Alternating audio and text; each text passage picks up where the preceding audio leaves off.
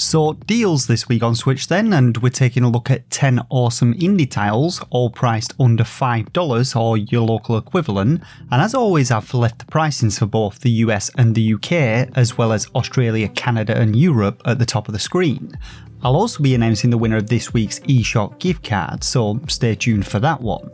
But without further ado, drop a like and subscribe for more Switch deals and reviews, and let's get into it.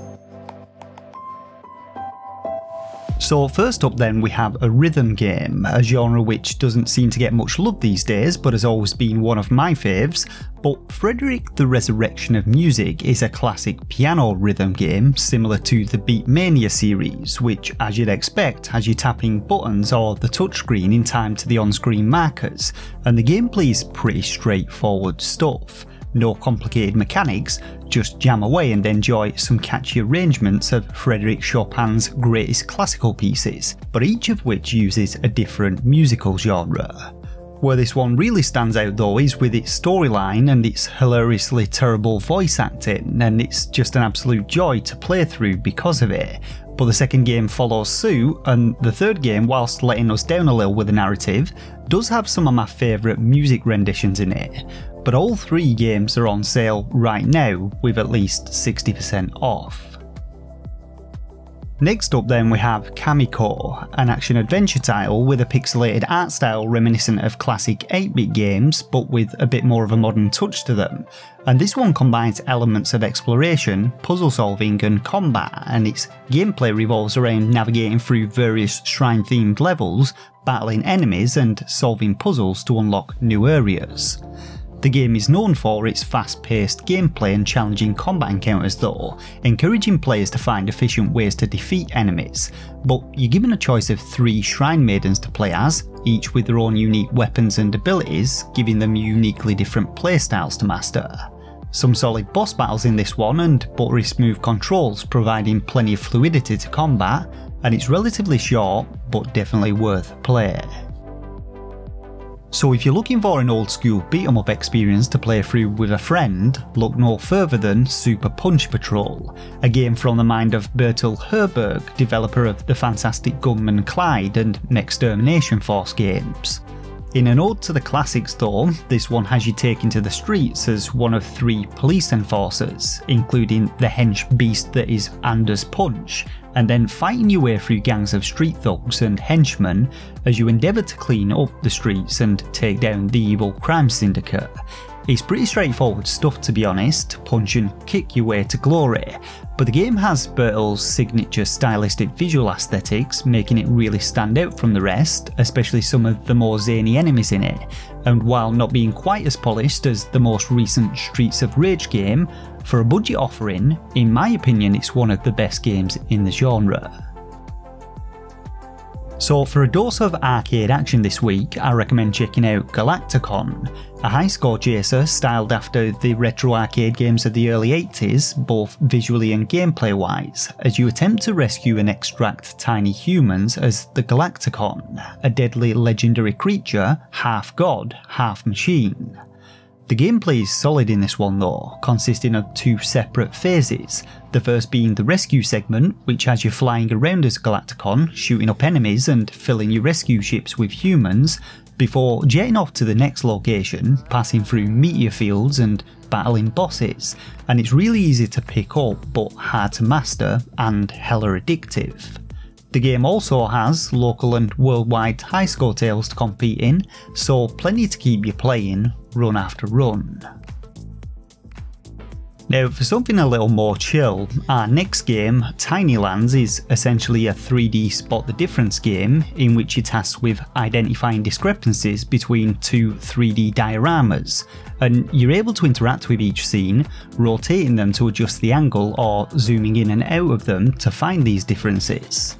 Each of them though is presented in a wonderful low poly art style and are filled with dynamic objects to really bring the scenes to life, and there's some great variety with the themes of them, with my personal favourite being the Japan themed ones, but it's a great game to just chill and spend a few hours with, and at only a couple of dollars, it's well worth picking up. So the winning comment for the $10 eShop voucher this week comes to us from watcher KFab810, who commented saying that they'd picked up Cosmic Defenders based on my best co-ops video. And this is one that I've yet to play with my own family, but it looks like an awesome little co-op game with some vibrant visuals. To claim your prize though, either email me at the address found on the channel's about page or jump onto my Discord server shown on screen now, and I'll be dropping some more giveaways in next month's deals videos, so be sure to subscribe to the channel and keep an eye out to be in with a chance of winning. Our next game then is Paper and I know what you're thinking, just another Tetris knockoff right? Well, not quite.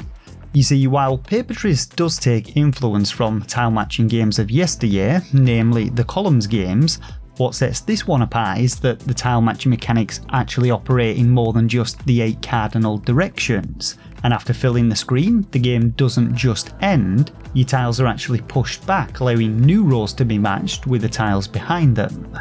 Reaching a certain score threshold also grants additional layers, allowing you to create even bigger chains, and there are also a few power-ups thrown into the mix to destroy rows and columns with. But the game is not without challenge, as new colours are added to the board the higher your score gets. The game also supports two player versus mode, making it a great one to play against a friend. But all in all, it puts a new and unique spin on a classic formula, and it's well worth a play in my opinion.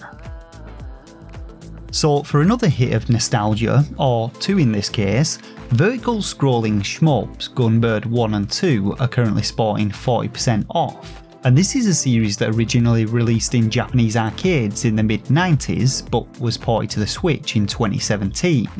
If you like your shmups though, these two have plenty to offer to both veterans of the genre and those looking to dip their feet for the first time, as the game has 7 different difficulty options on offer and a bunch of accessibility options to make things easier.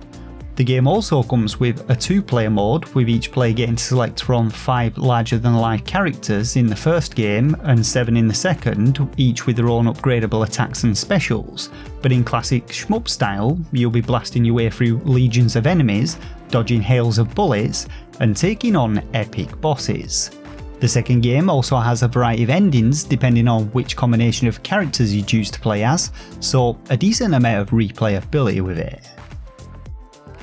So Lumo is our next title, and one which I've had my eye on for a while, but the game is an isometric platformer come puzzle game which takes influence from the classics, as you work your way through over 400 rooms, avoiding hazards and solving puzzles as you go.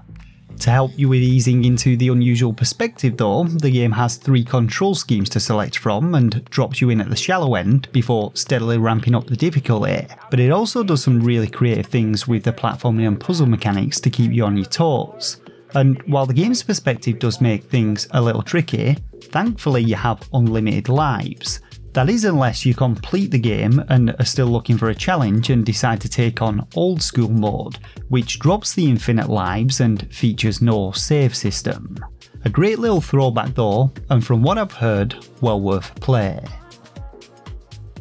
So I've previously covered this one with both a full review on the channel and in my Dollar Deal series, but Fatum Betula is a surreal exploration game in which you're given the simple task of feeding a magical birch tree in order to dictate the future, and so it's your job to go out and find something to nourish its roots with. The game is styled after the 32-bit PlayStation 1 era games, and the developer has done a fantastic job of capturing the look and feel of those games in all the jaggy-edged glory, but and Betula is all about exploring the world to discover different combinations of materials, having some minor puzzle solving elements to it, and the game has 10 unique endings to discover. But it's a weird and wonderful journey, and for the price, one not to be missed. Our final game today then is Fury Unleashed, a fantastic little roguelike action platformer set in a comic book universe, whose creator has gone a little mental, so now it's down to you to find out why and fix it. The gameplay in this one though is fast paced and action filled, mixing both melee and ranged combat, and a combo system which has you taking down enemies as quickly as possible to earn shields and protect you from harm is a relatively challenging one though too, with some tough enemies and even tougher boss fights, all of which rely on your skill as a player to dodge incoming projectiles and take them down. But the roguelike mechanics have you finding new and powerful weapons in each run and earning stat points which you can then pump into skill trees to increase your chances of success. It's also a great one to play in co-op mode and having a second player along for the ride will really help you out, but a solid roguelike through and through. And that my friends just about does it for this week's roundup of deals. A little later than usual, but hopefully I was able to highlight something that tickled your fancy. Let me know what you're picking up this week though, down in the comments section below. As always though, drop a like if you enjoyed this one and subscribe for more deals videos, as well as Nintendo Switch reviews, top lists and scam game warnings. But until next time, thanks once again for watching, take care of yourselves and game on.